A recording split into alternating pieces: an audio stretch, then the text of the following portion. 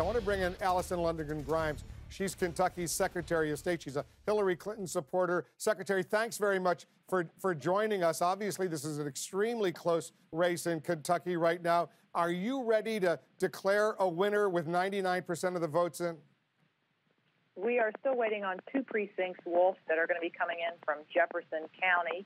Uh, we should have those results uh, to us, we believe, uh, within the hour. And uh, importantly, under Kentucky law, all official, all results uh, totals tonight are unofficial uh, results. We do not certify the vote totals until the end of May. May 31st is when uh, the unofficial totals that you're seeing here tonight across your screen uh, will become official vote totals. Uh, what we're seeing out of the two precincts that are remaining in Jefferson County, it's the northeastern corridor of Jefferson County that's remaining. Possible Democratic votes outstanding 769 votes. We do not obviously anticipate all of those uh, possible Democratic votes cast, uh, and obviously not making uh, right now the unofficial vote totals uh, any impact in, in the outcome, uh, anticipated outcome of this election.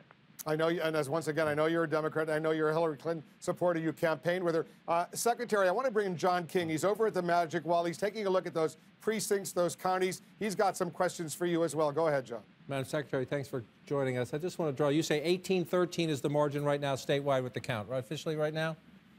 Unofficially, yes, it is. Unofficially, I'm sorry, 1813. And so let me let me stop there for a second and go in. And, and the only votes are two precincts here in Jefferson County. You say in the northeast part yes. of the state. And so you're looking at, at precinct 152 and precinct 156. And the S152 and S156. And the maximum number of Democratic votes there are how many? possible Democratic votes between total between the two precincts, 769. And is that by registration, or how do you know that number if you obviously haven't counted the votes yet?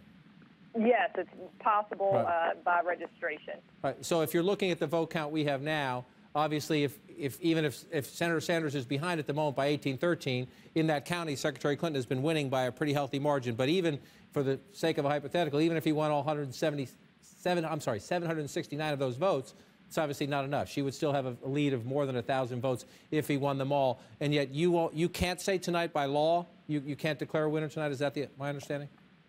The results tonight that you see from the Secretary of State's office all remain unofficial. I do believe, uh, though, that based on what we're seeing coming in, uh, that Kentucky will remain in a win column for the Clintons a win column for the Clinton because you can just do the simple math there. Even if Senator Sanders got them all, Wolf, it wouldn't be enough to overcome it. If, if I could just ask one quick last question before you go back to Wolf, uh, what are the recount provisions? It, my understanding is you have to go to court. There's no automatic recount. Is that right? Uh, there is actually a recanvass process that folks can request. They have uh, Tuesday, by Tuesday of next week, to request that in writing of the Secretary of State's office. And uh, what that process is, it is um, manually rechecking uh, the machines to make sure that the totals uh, as uploaded to our system are correct. Well, Secretary, so basically what I hear you saying, you can't declare an official winner, but is it fair to say you are ready to declare that Hillary Clinton is the unofficial winner in Kentucky? that is what it looks like right now. As we have uh, 99% of our precincts reporting uh, based on the unofficial vote totals that we are seeing. Hillary Clinton will be the unofficial uh, nominee on behalf of the Democratic Party uh, here in the Commonwealth of Kentucky.